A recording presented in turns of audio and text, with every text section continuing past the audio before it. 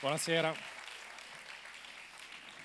Ah, innanzitutto grazie di essere venuto, visto che non era scontato che lei accettasse l'invito a venire nella tana del lupo, che poi degli siamo degli agnellini evidentemente, dirà lei, ma io ho il, il, il, compito duro e divertente allo stesso tempo di provare a farla sentire un po' scomoda su questa, su questa sedia, e che ovviamente l'abbiamo scelta apposta.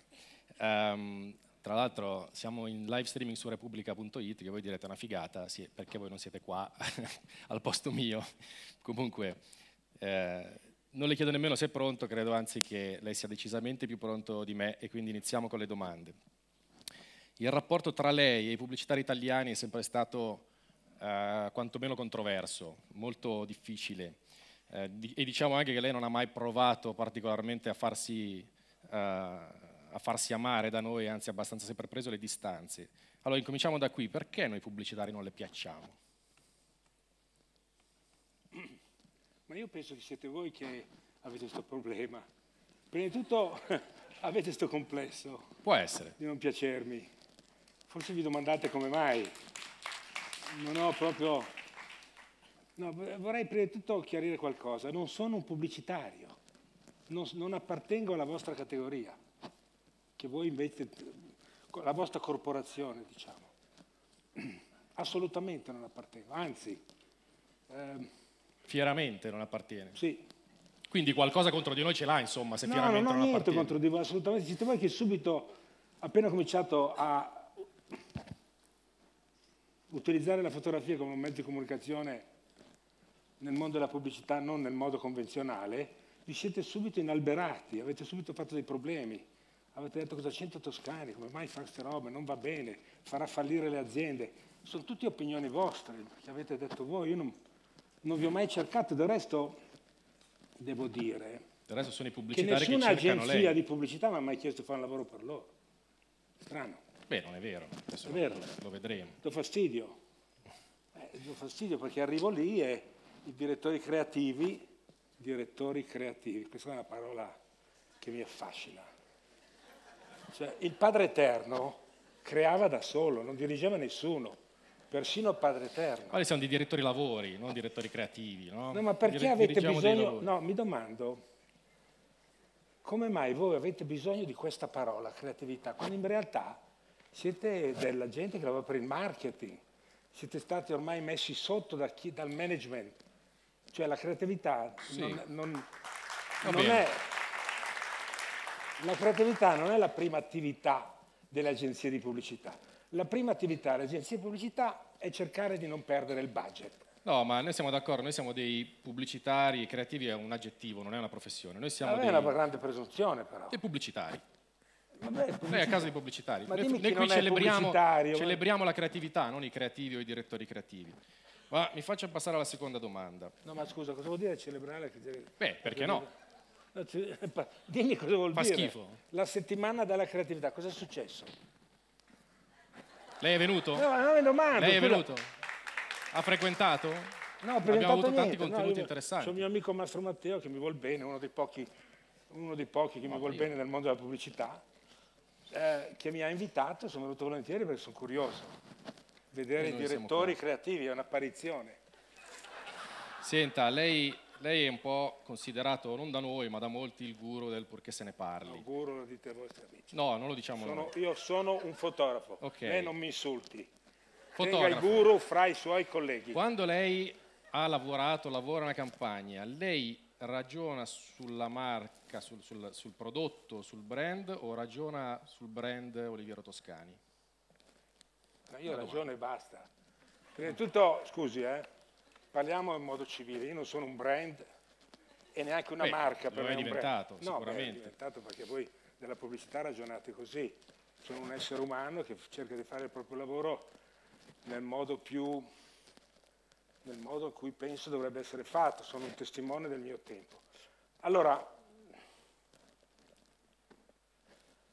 è, è molto difficile spiegare in questi termini a voi della pubblicità, perché voi vi siete fermati veramente... Allora non dica che non ce l'ha con noi però, eh, perché... No, vi odio, non è che ce l'ho. ah, allora torniamo, perché, perché, ci odi? Per di più, ma sì, perché per di più venite mi sembrate come i napoletani adesso, no? che chiedono come mai a Napoli dite che Napoli è sporca, Napoli è sporca, fantastico, ma no, i napoletani sono i primi intelligenti, sono i primi a capirlo. No? Allora, voi continuate a domandarmi come mai la creatività, voi delle agenzie pubblicità. Ma vi posso dire perché. Ricevo tutte le settimane delle mail di giovani che entrano nelle agenzie pubblicità con la, con la grande speranza di essere creativi, di entrare nel mondo della comunicazione, diciamo pure anche solamente la pubblicità, sperando di fare... E mi, mi mandano queste mail così di grande delusione che all'interno di tutto il vostro sistema la creatività non esiste più, non esiste più e questo è, è, è, gravissimo. Chi è responsabile? Chi è responsabile? Davanti a un brand, come dice lei, vi fermate al prodotto, avete inquinato per anni dicendo che la Volkswagen era una macchina ecologica. Okay. Guardate quanto tempo avete buttato via a raccontare le balle al mondo.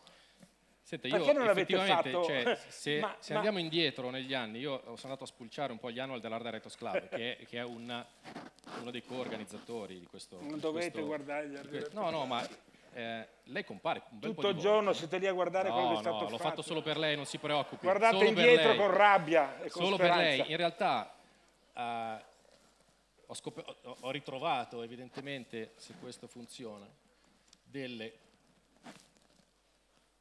le, le, prime campagne che probabilmente, adesso dobbiamo andare un po' indietro, la resero famosa che sono no, evidentemente Jesus Jeans uh, e uh, ovviamente i due soggetti di Jesus di questa campagna storica meravigliosa che è firmata come copywriter da Michele Beh, adesso vi racconto questa storia una volta per tutte. No, io vi racconto questa storia una volta per tutte. il suo il ruolo? si considera il fotografo, l'autore, il coautore? Qual è il se ci può raccontare. Ma io sono un fotografo e devo dire che ormai la fotografia forse è diventata l'arte più facile. In fondo come la scrittura, la scrittura è un po' più difficile, cioè tutti sanno scrivere e quando dici uno scrittore pensi a un, un, a un autore, no? Quando pensi a un fotografo pensi che sia uno che, che maneggia le macchine fotografiche, un tecnico in realtà, ma in realtà non è così. Il fotografo è colui che sceglie dall'immagine del mondo un dettaglio sul quale forse bisognerebbe anche riflettere, che può, fare, eh, che può sorprendere. Quindi io sono un fotografo in questi termini. Allora vi racconto questa storia della Jesus Jesus, visto che qui sono tutti creativi d'Italia. Eh, Maurizio Vitali era un industriale di Torino che venne quando aveva 24 anni nel mio studio, lavorava a Vogue Italia. Mi disse voglio farti l'assistente, arrivò con una Ferrari, 24 anni e gli domandai cosa fai, sai noi non abbiamo un'azienda che si chiama Robe di K, gli dico, era il 65, eh? e gli dico ma perché non produci blue jeans? Allora non c'erano veramente grandi aziende di blue jeans in Italia.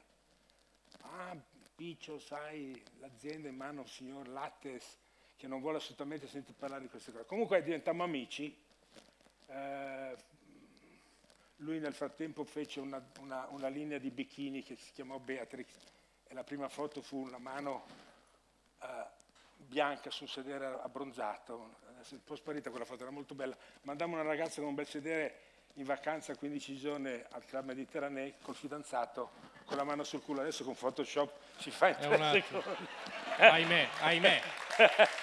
Vabbè, comunque vi racconto questo divertente, cioè, ci divertavamo, Maurizio era geniale, era un ragazzo sempre all'avanguardia, infatti morì di AIDS quando non si sapeva ancora cosa fosse l'AIDS. È così, incredibile, ci sono quelli che hanno questi uh, succhi gastrici sviluppati nella vita e lui era uno di questo. E io ho sempre avuto la fortuna di trovare questo genere di imprenditore, questo genere di committente, perché senza un committente intelligente non farai mai un buon lavoro. Vabbè, comunque, e continuava a rompergli le scatole, fai blue jeans, fai blue jeans.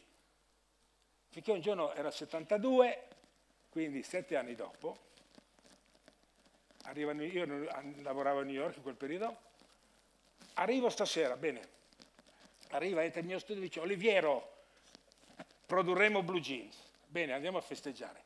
Scendiamo a piedi di Broadway, io abitavo a Carnegie, al 57esima, e lui mi dice, ma come li chiamiamo? Era di Torino. E guarda, così, c'era Jesus Christ Superstar, altro che Pirella. Jesus Christ Superstar, dico, chiamiamolo con quel nome lì che bene o male, è duemila anni che la, ce la mena, insomma. Giuro, questa è la storia. E poi arriverò sulla creatività. E lui dice, ma, sei, ma sei, matto? Sì, sì, sì, comunque è interessante perché... ma sei matto? No, no, perché no? Beh, insomma, si chiamò Jesus. Allora, io non conoscevo, feci la foto, quella lì, la prima, fu fatta il testo e poi non conoscevo agenzie di media. E lui mi dice, guarda che sotto di me, in via, via Carducci, c'è un'agenzia nuova di giovani socialisti che allora andava molto di moda. Eh, potrebbero fare loro la distribuzione. Bene, fu fatta la distribuzione dall'agenzia Italia, che dopodiché divenne la creatrice della campagna Jesus. Va bene, questa è la vera storia. Perché alla fine, devo dirvi, che la cosa più rivoluzionaria dell'Agenzia Italia fu dopo, dopo la, la, campagna Jesus, o così o pomì. Non ci fu niente, Beh, ce lo ricordiamo ancora adesso, nient'altro di rivoluzionario. Va bene, questa è la storia della Jesus G. Quindi lei fece la foto? Appunto, appunto, arrivammo giù, arrivammo giù all'Agenzia Italia, allora, signori, all'Agenzia Italia con la campagna fatta e l'Agenzia Italia fu presentò Padre Eterno. No, Emanuele no, Pirello. No, no, no. Ma non è vero, ma non è vero. Che tra l'altro non c'è più, per cui è un po' Vabbè, insomma, ragazzi, parlarne. È strano, o così o pomì. Andiamo avanti. Dopodiché. Comunque, ovviamente poi si arriva... La, la campagna era pronta. L'Agenzia Italia con, con Emanuele Pirella presentò poi una campagna dove c'era un'Italia con una zip in mezzo col copy o preferite un'Italia indivisa? Molto politica la cosa. Dopodiché arriviamo a Benetton, che evidentemente è una case history monumentale, no? cioè un brand che in un periodo brevissimo crebbe a livello mondiale. No, è un'introduzione, me la permetto. È un brand che ovviamente nacque da Benetton, la cui marca in qualche modo, il brand frame, come si dice oggi in America, lo disegnò Bruno Sutter, fece il logo e il concetto di United Colors of Benetton. Lei evidentemente ebbe l'enorme merito di aggiungere un linguaggio visivo freschissimo, eh, un tono di voce dissacrante, provocatorio, soprattutto è stata forse la, una delle primissime volte in cui ci si allontanava dalla rappresentazione pura del prodotto e si arrivava alla rappresentazione di marca, quindi è una case history incredibile e no, si passa dal, dagli angioletti, eh, eh, ripeto, campagne storiche, tra l'altro premiate per quello che può valere, ma che hanno fatto la storia della pubblicità italiana, solo che si entra in una spirale provocatoria da cui poi diventa difficile probabilmente uscire, no? è, un gioco, è un gioco un po' al rialzo in cui qual è il limite? Cioè c'è un limite, c'è, un, un'etica, ce l'ha un'etica? Ma io lo domando a voi, lo domando a voi se non siete entrati voi in una spirale dove veramente non fate più niente interessante, perché io qualche anno che non vedo più niente interessante con tutta la gente che lavora e dice di essere creativa nelle agenzie, ditemi un po' qualcosa di interessante. Quando fate qualcosa di interessante, qualcosa di un po' ironico che fa sorridere, ma non portate niente a fondo sì. termine, non portate niente in modo profondo. Quindi anche qui sta storia di Bruno Sutter. Bruno Sutter era un mio compagno di scuola, prima di tutto, ho studiato grafica a Zurigo. E quando io cominciai a fare la campagna in quei termini lì, la, l'agenzia Eldorado fu liquidata perché non ci credeva, parlava come lei non ci credeva a questo genere di pubblicità. Quindi non ci fu più, dissi proprio a Benetton, non voglio più agenzie fra le scatole. E questo successe. Allora, vi dico, eh, c'è un grande problema, c'è un grande problema. Voi col vostro problema, il vostro complesso di creatività. Per essere liberi, diciamo, per essere liberi, quindi forse anche per essere creativi, come dite voi, anche se io non credo che uno deve cercare di essere creativo. Uno o lo è o non, non può cercare le idee. Uno che cerca le idee vuol dire che non ne ha. Uno fa quello che si sente di fare. Allora, per ottenere questa possibilità di essere creativi, diciamo così, voi dovete arricchire il vostro committente.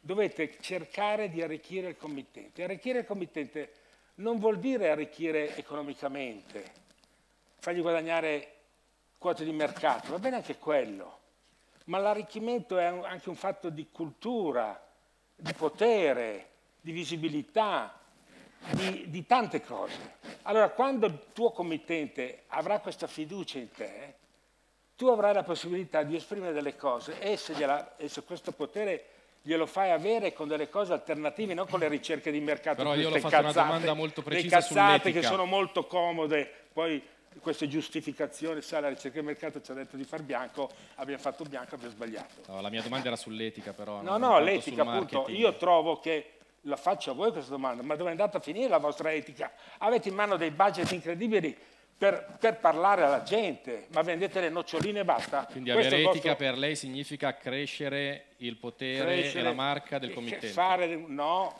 fare una comunicazione che interessi alla gente e non fare una comunicazione che non esiste. Ditemi un po' dove è andata a finire questa comunicazione. Ma, eh, dico, ma come fate a fare le in riunioni in 25 brainstorming a parlare quale sarà, la, quale sarà il target delle noccioline? Ma non è possibile, ma smettetela. Smettetela, non Senta. si può più. È finito, quel mondo lì è finito, ma è finito a tanto tempo. Nel, nel, questa è la mia quinta domanda.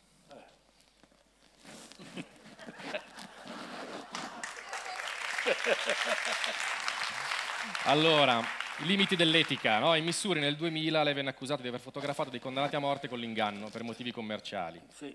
In seguito all'enorme scandalo che ne seguì, il suo cliente Benetton non solo interruppe la, col la, collaborazione con lei, ma dovete pagare anche multe salate e, io mi sono informato, pare chiudere addirittura 400 punti vendita. Ora, lasciando perdere l'etica, che c'è anche un porto alle palle, che è interessante, ma dopo un po' rompe le palle. Ma possiamo dire che almeno dal punto di vista pubblicitario e di marketing non, non fu una grande campagna, ma un po' una grande cazzata? Beh, queste cose qua, le, se le dicono, ve lo dite fra di voi, fra mediocri, per, per, così, per giustificare... No, però attenzione, vostra... lei ha perso un cliente che ha chiuso 400 no, no, punti no, vendita. questo qua lo dici tu. Allora, vorrei avere qua Luciano Benetton che raccontasse lui la storia. Proprio ultimamente a una serata a Cortina spiegò cosa è successo.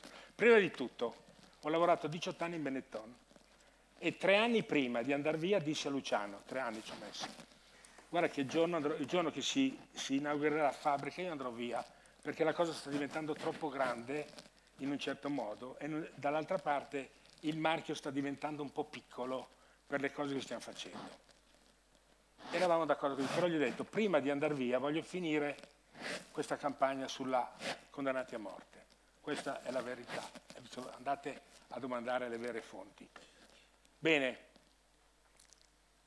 Benetton aveva solamente il 7% del business negli Stati Uniti quando io feci quella campagna soprattutto Luciano non voleva più essere là perché era relegato negli angoli di Sears.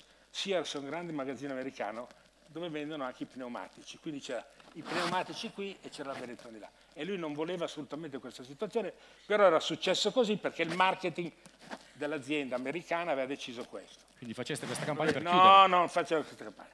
Noi facciamo questa campagna, non ci sono, non si ragiona in quei termini lì. No, io non ragiono in quei termini lì fu fatta la campagna e ci fu sicuramente una, una, una reazione. E già lei mi dice questa provocazione. Ma la provocazione è la base dell'arte. Se non provocate interesse, cosa state lì a fare? A far cosa? Provocare è una parola fantastica. Senza provocazione non ci sarebbe società civile, non ci sarebbe cultura, non ci sarebbe, non ci sarebbe sviluppo né etico né mentale, né, né niente. Allora voi non provocate più niente, anzi cercate tutto quello che non provoca niente. Allora, Ma... fu fatta la campagna, io andai via, già, già, mentre usciva la campagna, io già lavoravo alla Miramax, ero già andato via dalla Benetton, ecco, questo dovessi scrivertelo, se tu fossi più preciso ti farebbe anche comodo come direttore creativo.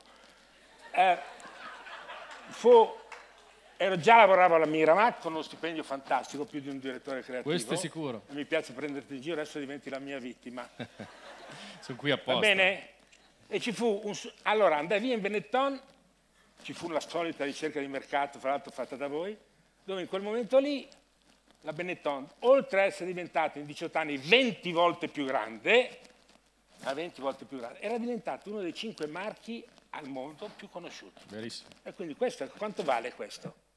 Perché non, non racconti queste robe qua? No, io ho, ho, fatto una premessa sulla che esiste di monumentale allora, di Benetton. No, l'hai già fatto una questa roba, non, non spirale. Allora, caro mio, Vabbè, cosa fa? non è facile, fa? non è facile. Questa è solamente, semplicemente, una conseguenza. Allora, la creatività non è altro che la conseguenza di un'azione, di un lavoro, di un impegno, di un sogno, di una, di una voglia che si realizza. E quando voi lavorate con questi termini, può darsi che voi facciate qualcosa di creativo. Comunque, mentre la fate, se siete sicuri, potete essere sicuri che non sarà qualcosa di creativo, se siete sicuri. E quando voi fate i vostri lavori, partite subito con i presupposti di una sicurezza, ricerca di mercato, eh, no, e alla fine è, è la mediocrità, la mediocrità che è prodotta. Così, la mediocrità, quando tu farai qualcosa che accontenterà tutti, non accontenterà tutti vuol dire non accontenterà veramente Su nessuno. questo siamo d'accordissimo. E allora? Senta, mentre proiettiamo una campagna per l'unità del 2008. Riporto, preso da Wikipedia, per cui sai, Wikipedia però... Ormai è diventata la vostra... No, vabbè, vostra... de, su, sulla Treccani non l'ho trovata la sua citazione. Come si scrive Wikipedia? Dopo glielo faccio lo spelling, non è difficile. Le donne devono essere più sobrie, dare importanza all'essere più che al sembrare. Solo così si possono evitare altri casi di femminicidio. Il fotografo ha aggiunto che le donne non si devono truccare, mettersi il rossetto, devono volersi bene per quello che sono. Toscani si è dichiarato d'accordo con, con, il presidente della Camera, Laura Boldrini, che ha chiesto lo stop all'uso del corpo femminile nella pubblicità. Io sono un po' confuso. Se, sì. se mi spiega... A te piacciono le fighe allora? Modestamente. figa, tacchi alti, pitturate, seduzione. Sei confuso? No, io lo dico proiettando un'immagine. Perché questa è una roba di volgarità? Non lo so io. Dimmi. Questa è la sua risposta. No, non so, non penso assolutamente. Allora, io devo provocare, lei è un provocatore, io devo controprovocare, no, perché sennò che facciamo? Ma no, non è divertente. No, ma non provochi tanto, io pensavo a qualcosa di più, di più, di più sostanzioso. Eh, non è mica facile con lei, dai, mi dia l'onore delle armi. Però, ad esempio, no, parlando di provocazione, come mai si arrabbiò tanto quando verso la fine degli anni 90 vide uscire questa campagna fatta per il manifesto da due pubblicitari che erano Lele Panzeri e Sandro Baldoni? Cioè la provocazione funziona se viene da lei e, no, non si ma viene vedi, da altri? perché l'unico, l'unico punto dove voi vi sentite creativi quando fate qualcosa che fa sorridere, il gag, cioè i neri che vanno col Bob, che è una delle migliori campagne che avete fatto, ma alla fine è, è una cazzata. Scusate, eh, le, i problemi sono molto più interessanti, sono incredibilmente interessanti. Non siete mai capaci di affrontare qualcosa di sé, non di serio, ma che sia veramente una condizione umana che faccia girare il sangue nelle vene. Non avete il coraggio di affrontare questo. Parlate così. Il compito della pubblicità è far gelare il sangue nelle vene. Sì, anche. Lo, lo rifà che le viene bene. No, ma scusa, eh no, sono bravo a imitare. Sono bravo a imitare. No, ma scusa. Senta, va bene. Di brutte... No, volevo fare la, la domanda numero 8. No, ma, guarda, no, ma dico, guarda A me piace seguire i numeri. Parli di creatività. Guardiamo la pittura. Nella pittura, come? Non siamo artisti, eh no, ma parlate di creatività, art director, art director, art, che art? Non mi insulti. Allora smettetela. Copywriter. Allora smettetela, smettetela di dire art. Smettetela, siate onesti e non presuntuosi. No, no, ma ha ragione. Smettetela. Senta. Siete dei venditori della comunicazione. Come lei. Eh, ma in un modo banale. Come tutti. Senta, parliamo, abbiamo parlato di bellissime campagne controverse, alcune controverse, alcune meno, alcune bellissime, bellissime. però controverse. Allora? Sì. No, adesso vorrei parlare di quelle brutte. No, visto che credo che l'abbiamo fatto un po' tutti, no? Anch'io modestamente, qualcuno la brutta l'ho fatta. Ce n'è una che vorrebbe non aver fatto, ce la può citare. Non me lo ricordo. Beh, una brutta che lei dice, ma porca troia, non avrei voluto non farla, quella lì. Ma mi è capitato di mollare lì tutto e andare via. Mollare lì i vostri com committenti ma, e andarmene. Posso farle non vedere? Non mi ricordo, eh, prego. Io prego. Una, mi interessa, no? sentiamo. Nel circo della strada puoi piangere e far piangere. Pensaci, in un anno 3860 morti per incidenti stradali. Fondazione AMIA, le assicurazioni per la sicurezza stradale. Ah, ho capito perché non vi piace. Ho capito perché non vi piace. Perché questo era un concorso fatto dall'ANIA e mi trovai il giorno del briefing, io da solo, e altre 4 o 5 agenzie, forse c'eravate anche voi. E le agenzie arrivano sempre in 4 o 5, come mi, fra i 4 e gli 8 ogni agenzia.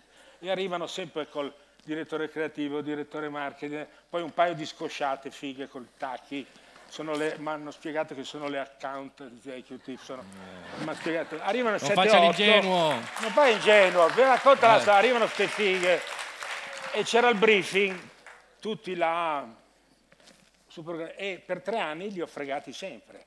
Infatti non me la fanno più fare, peccato, perché è una bella entrata economicamente. Ogni anno vincevo io, ma come mai? Come mai? È per quello che non vi piace. Forse c'eri anche tu. No, non c'ero. Avrei perso sicuramente. Vinto. Avrei perso sicuramente. Comunque non mi dispiace quella campagna. Nel senso che la ritiene una bella campagna. No, è una campagna che è stata molto efficace. Okay. Molto efficace. Ma non so, mi hanno detto. Senta, lei dopo Benetton diciamo che non ha più... No, durante, durante. Uh, come dire, toccato quelle, quelle vette.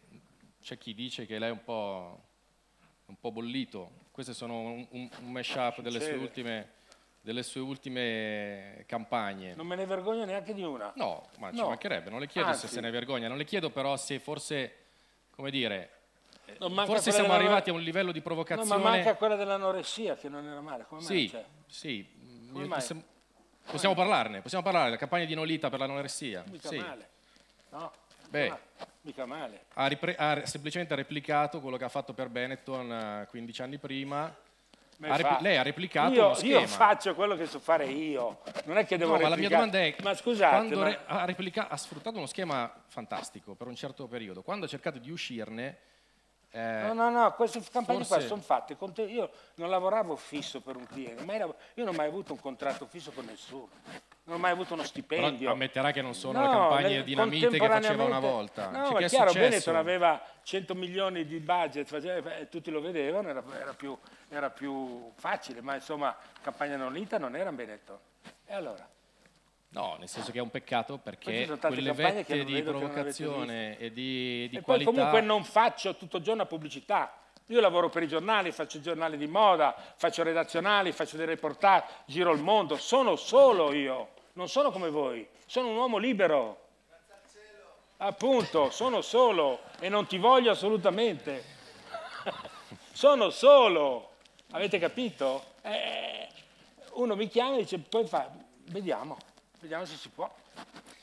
Solo, avete capito? Prima sento qualcuno, adesso bisogna fare come le api, alla fine non funzionerà così.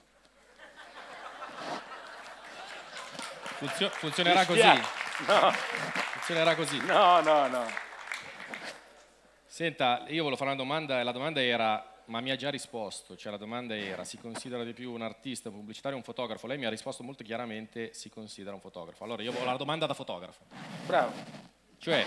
È anche il fotografo? No, del, no, no, no, no, perché ormai chi non ha fatto una foto in vita no, sua? No, io per carità. Eh, Le faccio ma sono brutte. Uh, da fotografo, cioè di fotografi provocatori, iconoclasti, sono pieni libri evidentemente, no? Però quello che la rende unica, la resa unica, è l'utilizzo pubblicitario delle foto. Cioè le sue foto svincolate da un titolo o da un logo evidentemente hanno un valore decisamente, decisamente diverso. Cioè senza la pubblicità lei esisterebbe lo stesso come fotografo. Nella misura in cui esiste adesso. Non vuol dire che lei è ignorante, non legge, legge i giornali di moda per esempio, o sono, ho fatto i primi numeri de, degli L, del, tutti i Vogue Italia, certo. Vogue Uomo, ho fatto dei giornali, ho fatto un giornale che si chiamava Colors, mi interesso di editoria, ho fatto dei programmi televisivi, insomma eh, No, ma nella misura di- Comunque dico, va adesso, bene, mettiamo. Ho capito, io sono figlio di fotografo.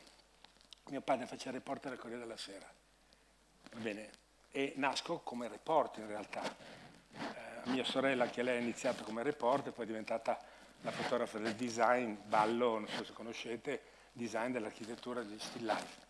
E io sono arrivato come terza, gen- insomma, mia sorella aveva 12 anni più di me, quindi quasi una generazione, era un po' la terza generazione della famiglia, faceva il fotografo. E ho capito che per avere, per avere un impatto con la fotografia, essendo la fotografia un mezzo di comunicazione di massa, bisognava trovare un canale che non fosse quello del reportage, perché se tu fai un reportage andrà solamente sul giornale dove, per il quale lavori e finisce lì. E ho capito che invece c'era una possibilità, utilizza- utilizzando la rete della pubblicità, avevo la possibilità di avere la stessa fotografia pubblicata in tutti i giornali del mondo. Molto semplice, questa è stata la mia. Quindi io ho utilizzato il sistema pubblicitario per fare quello che volevo fare, per fare in un certo modo anche il reporter di una, di una certa società, di un modo, di, di- di certe espressioni sociali. Perché, ripeto, invece del sorriso della Gioconda, a me interessava da giovane il sorriso della Marilyn Monroe. Invece della, della musica lirica, a me interessava il rock and roll. Invece di tante cose che venivano prese come normalmente la cultura doveva essere, a me interessava un'alternativa a questa cultura. Quindi, quindi ho capito che in ogni mondo, in ogni, in ogni settore, in ogni specialità anche del tuo mestiere, c'è la possibilità di entrare e fare qualcosa che sia sovversivo. Perché mi interessa la sovversione, anzi, Però lo stiamo mi interessa molto di più la delle- delle sovversione. campagne che mi non sono interessa di- sovversive. Ma mi non è vero. Non mi dica che ha fatto il pubblicitario per fare queste foto. E dimmi una cosa sovversiva che ha fatto la Leo Burnett. Oh Dio No, santo. E allora, siete lì in presentatore. 40, la direttore artistico, direttore creativi, blablabla, e dimmi qualcosa di, interessante culturalmente della Leo La Burnett. invitiamo alla visto premiazione di sera. La invitiamo alla premiazione di questa sera, ci saranno un sacco di lavori molto belli Ah, e lei vedrà anche delle cose sovversive. Ce n'è uno mi ricordo. però, però non mi Stai, sembrano delle stai foto facendo vedere, stai facendo vedere delle foto che hanno 20-30 anni, Ma che tutti se le ricordano ancora. che dice? Ma Vi sono di ricordate 10 una fa, campagna della 5 Deo? Burnett di 30 anni fa? Forse non c'era neanche, c'era. Queste sono campagne di 5-10 anni fa. No, no. Vabbè, Va bene, comunque, va bene, mi dai. piacciono le critiche. Se no non è divertente, stiamo cercando di renderla mi divertente. piacciono le dai. critiche.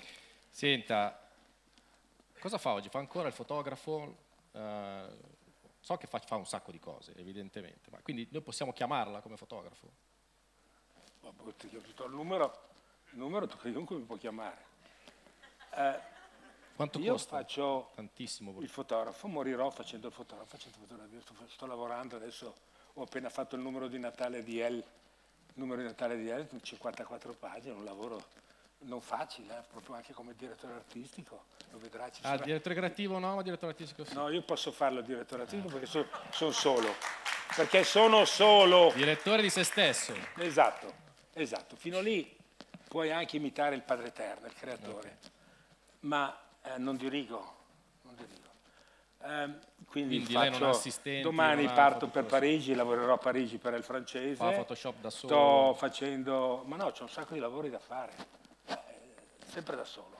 Sempre da solo. No, non è che sia da solo.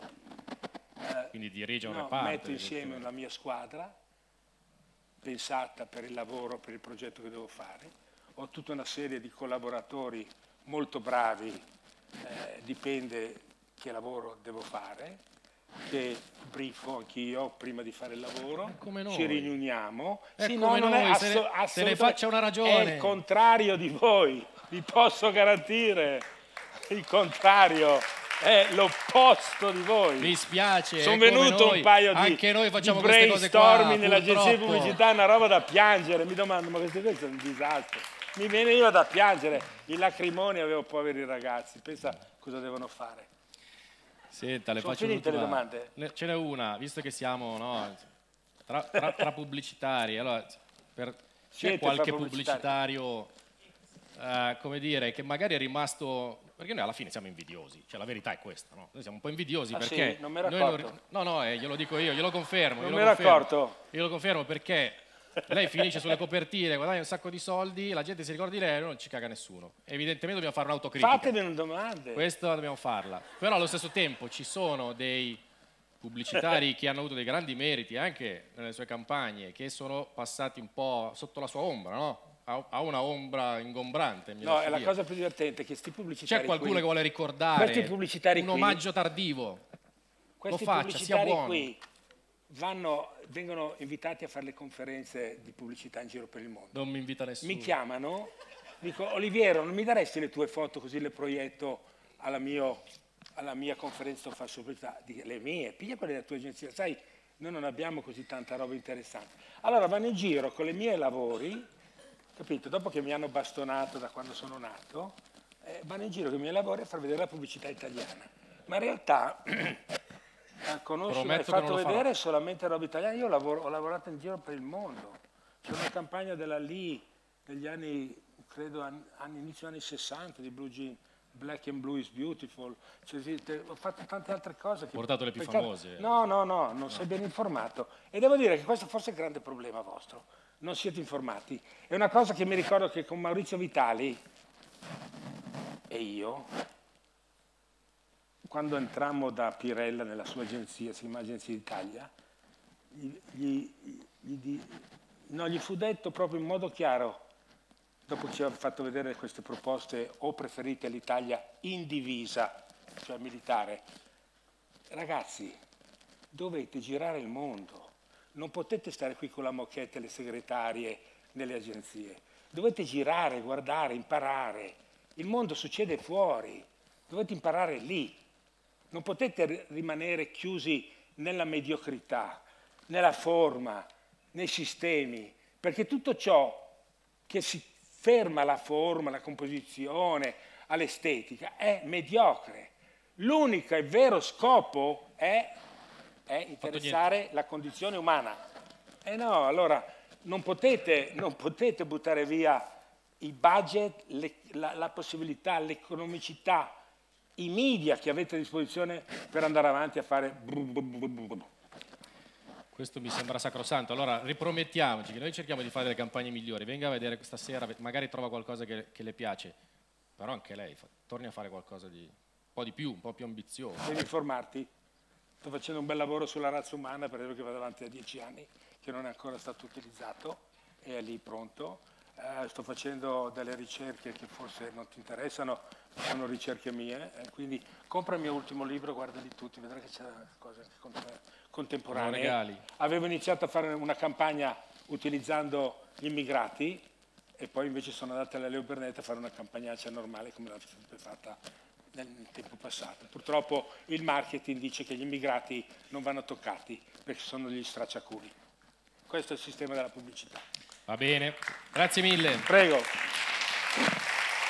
Possiamo stringerci la mano.